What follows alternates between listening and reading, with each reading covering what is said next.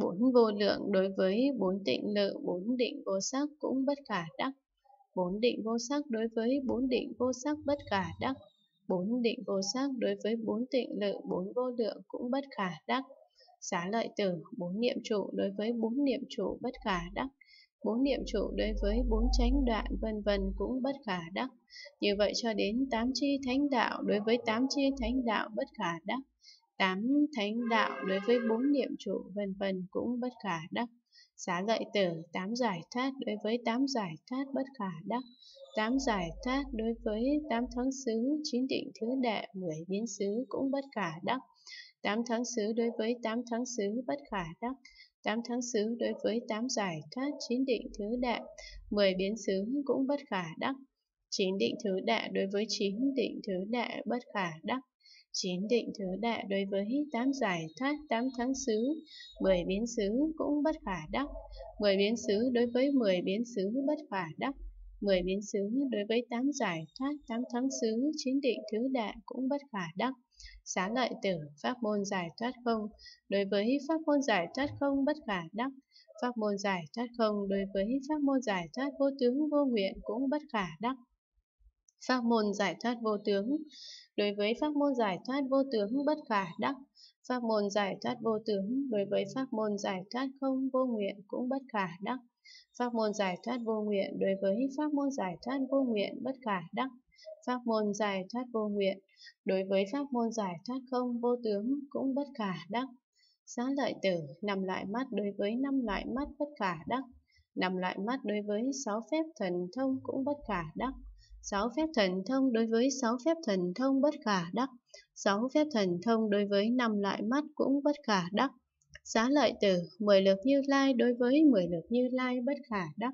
Mười lực như lai đối với bốn điều không sợ vân vân cũng bất khả đắc. Như vậy cho đến 18 pháp Phật bất cộng đối với 18 pháp Phật bất cộng bất khả đắc. 18 pháp Phật bất cộng đối với 10 lực như lai vân vân cũng bất khả đắc. Xá lợi tử, pháp không quên mất, đối với pháp không quên mất bất khả đắc.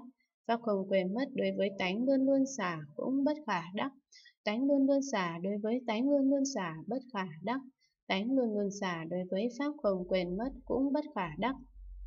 Xá lợi tử, Trí nhất thiết đối với trí nhất thiết bất khả đắc, trí nhất thiết đối với trí đạo tướng, trí nhất thiết tướng cũng bất khả đắc, trí đạo tướng đối với trí đạo tướng bất khả đắc, trí đạo tướng đối với trí nhất thiết, trí nhất thiết tướng cũng bất khả đắc, trí nhất thiết tướng đối với trí nhất thiết tướng bất khả đắc, trí nhất thiết tướng đối với trí nhất thiết trí đạo tướng cũng bất khả đắc. Xá lợi tử, pháp nội không đối với pháp nội không bất khả đắc, pháp nội không đối với pháp ngoại không vân vân cũng bất khả đắc. Như vậy cho đến pháp vô tính tự tính không đối với pháp vô tính tự tính không bất khả đắc. Pháp vô tính tự tính không đối với pháp nội không vân vân cũng bất khả đắc. Giả lợi tử, chân như đối với chân như bất khả đắc. Chân như đối với pháp giới vân vân cũng bất khả đắc.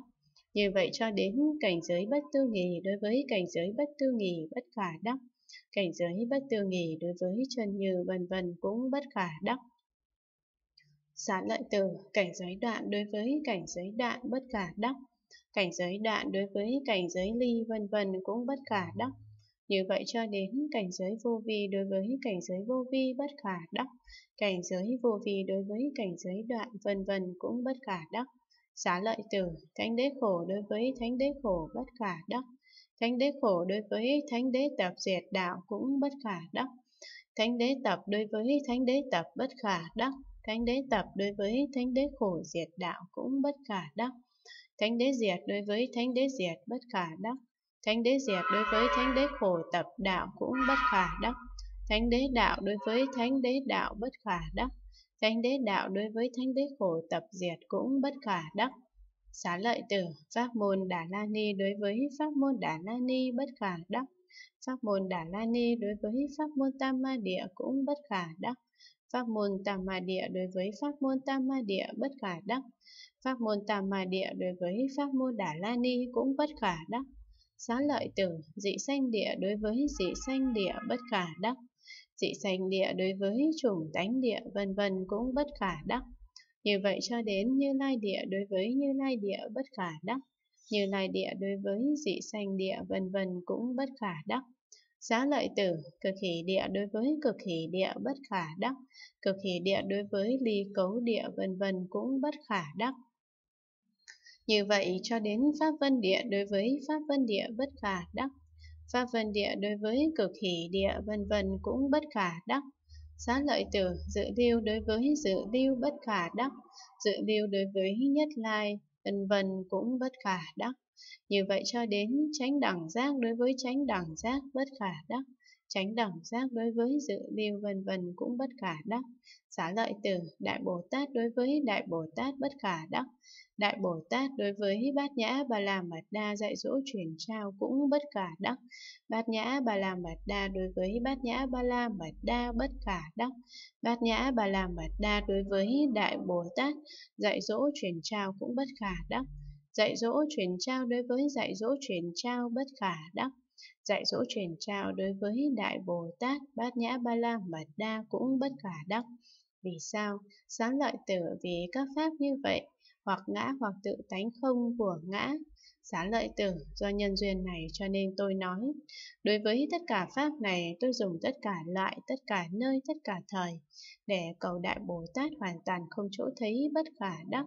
Điều gì đã khiến tôi dùng bát nhã ba la mật đa dạy dỗ truyền trao cho các Đại Bồ Tát? Hết quyển thứ 496